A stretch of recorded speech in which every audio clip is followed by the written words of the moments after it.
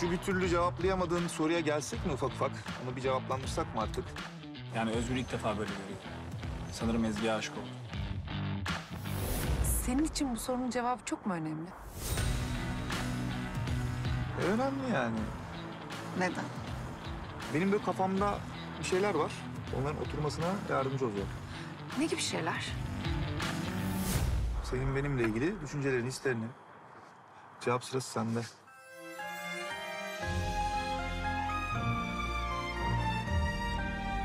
Bence ben cevabımı verdim.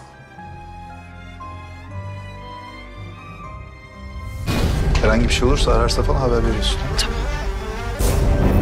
Evet, tam tahmin ettiğim gibi. Ben onun sadece patronu değil. Acilen aksiyon alman lazım. Sen ne kadar ilgili bir patronsun böyle ya.